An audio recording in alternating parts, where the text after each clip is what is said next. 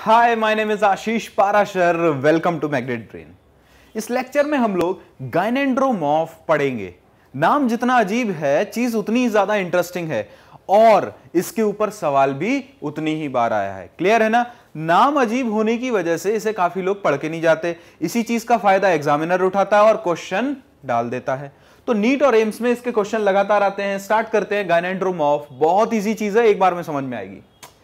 Body of some Drosophila अब पहली चीज़ जो एक्सपेरिमेंटल मटेरियल है, जिसमें ये चीज़ हम देख रहे हैं दैट इज़ ड्रोसोफिला तो बॉडी ऑफ़ सम ड्रोसोफिला है some cell with male genotype XO interesting चीज़ जो यहाँ पे आपने देखी होगी कि ये पूरी बॉडी की बात नहीं कर रहा है। ये क्या बोल रहा है? सम सेल्स तो भाई, ये चीज़ तो बहुत ज़्यादा ध्यान देने वाली है कि ये बोल क्या रहा है। ये ये चीज़ बोल रहा है कि कुछ सेल जो होते हैं, वो पूरी बॉडी की बात नहीं कर रहा। तो ध्यान सुनो। कुछ जो सेल हैं बॉडी के, वो मेल जीनोटाइप एक्सओ के हैं। और कुछ जो बचे हुए सेल ऑब्वियस सी बात है फीमेल जीनोटाइप एक्स और एक्स के हैं।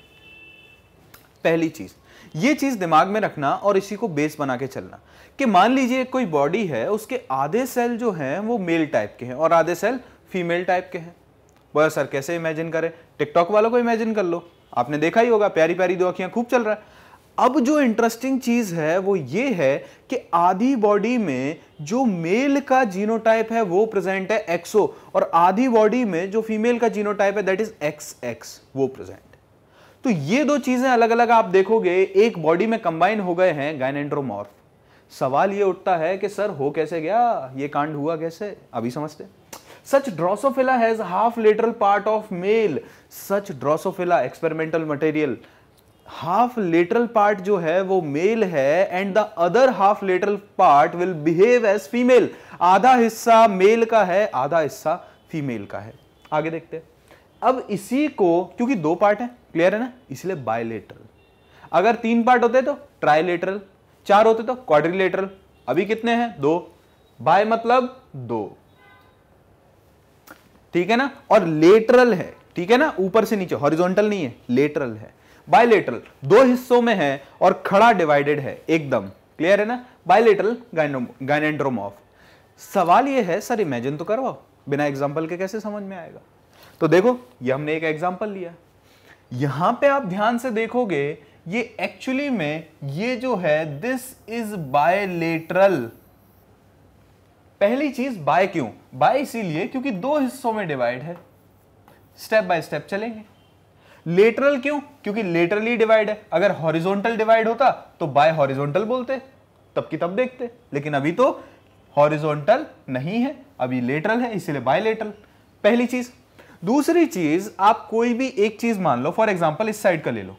तो ये जो येलो कलर का आपको पंख दिख रहा है, इसमें जो कैरेक्टरिस्टिक है, ये फीमेल वाली कैरेक्टरिस्टिक है।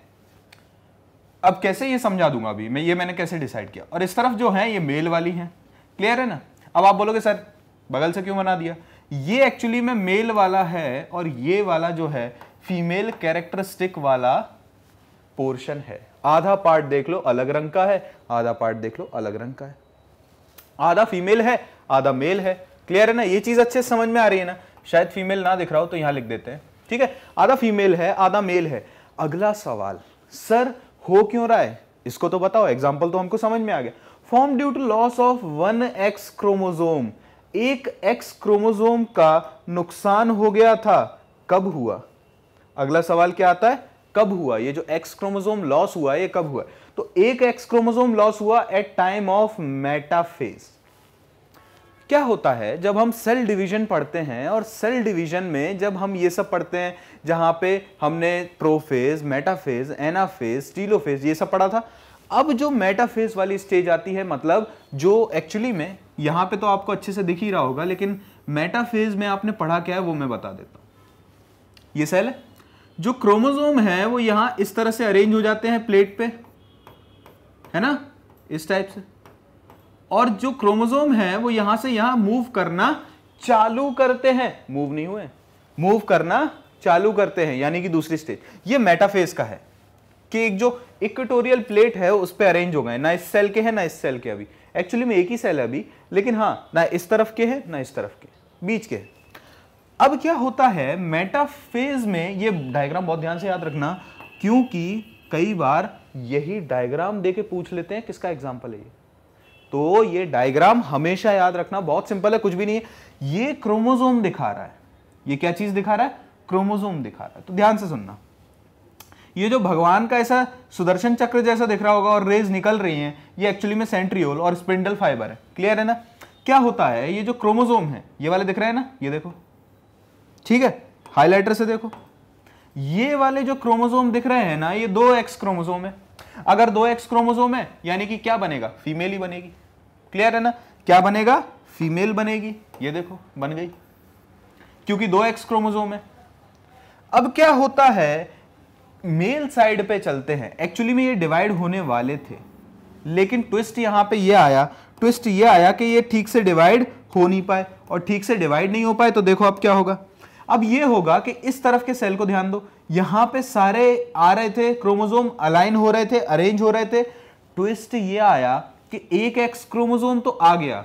दूसरा ये जो ज़ीरो लिखा है ना ज़ीरो है ये ओ नहीं है। ये मत सोचना कि एक नया क्रोमोजोम हमने डिस्कवर कर लिया, चलो, ओ हो गया। न ये एक्स क्रोमोजोम के बगल से वाई जो हमेशा लिखा जाता है ना, ये वाला। तो ये वाई क्रोमोजोम क्या है? मिसिंग है। और इसी वजह से यहाँ पे ओ लिख दिया है। मैंने पहले ही बताया था, अगर कोई चीज़ मिसिंग होती है तो वहाँ पे वो ओ लिख देते हैं। इसको ज़ीरो पढ़ना है। इसको क्या बोलना है? ज़ीरो है ये। एक्स और ज़ीरो क्लियर है ना? यानी कि यहाँ पे कुछ भी नहीं है और कुछ भी नहीं, अकेला होता, बेचारे को बुरा लगता है, इसलिए हमने ज़ीरो उसके बगल से रख दिया है।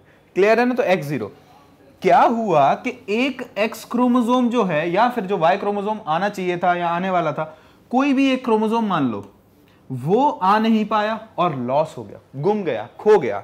जब सेल डिवाइड हो रहा था, ये ये स्टेज थी। जब सेल डिवाइड हो रहा था तो क्या हुआ, ये दोनों तो अपने इधर मूव कर गए। मान लो एक और चौथा भी क्रोमोजोम था यहीं पे लेकिन ये वाला तो यहाँ मूव कर गया, लेकिन ये चौथा वाला जो क्रोमोजोम था ना ये मूव कर ही नहीं पाया और सेल डिवाइड होने लगा। तो ये वाली बात है कि एक एक्स क्रोमोजोम जो है, वो लॉस हो गया। ये देखो, यहाँ पे भी सेल डिवाइड हो रहा है, दिख रहा होगा। ये वाला जो है, ये पहुँच ही नहीं पा रहा अपनी जगह तक, जबकि ये दोनों एक्स क्रोमोजोम अपनी जगह पे है, ये वाला एक्स क्रोमोजोम अपनी जगह पे है। दूसरा जो क्रोमोजोम चाहिए था, उसका क्रोमेटेड यहाँ तक पहुँच ही नहीं पाया। यही होता है गायनेंड्रोमॉफ का कारण। Loss of X chromosome during metaphase क्या बोला मैंने? Loss of X chromosome at metaphase तो ये कारण भी समझ आ गया। क्यों होता है ये? आगे formation of gynandromorph is evidence ये एक चीज़ का सबूत है। किस चीज़ का? कि वाई क्रोमोजोम जो है, उसकी कोई इज़्ज़त नहीं है। सेक्स डिटर्मिनेशन में उसका बिल्कुल भी कोई हाथ नहीं है। वो बेचारा बहुत ही सिंपल है, अलग बैठा रहता है। क्या ह्यूमन में ऐसी स्टोरी है? ना बेटा, ना। ह्यूमन में वाई क्रोमोजोम ही तो डिसाइड करता है कि पर्सन मेल होगा या फीमेल होगा। लेकिन ड्रोसोफिला में उसकी कोई इज़्ज़त नहीं है। तुम हो तो ठीक, नहीं हो तो भी कोई फ़र्क नहीं पड़ता। क्लियर है ना? तो यही चीज़ होती है जो वाई क्रोमोजोम शो करता है। ठीक है ना? तो यही दिवाली का भी वैसे मौसम आ रहा है। जैसे आपके रिलेटिव हैं, वैसे वाई क्रोमोजोम है। हो तो ठीक है, नहीं हो तो और भी अच्छा है। आगे पढ़ते हैं, अगली स्लाइड में देखेंगे। अगर ये वीडियो आपको अच्छा लगा है तो इसको लाइक करें शेयर करें चैनल को सब्सक्राइब करें। Thank you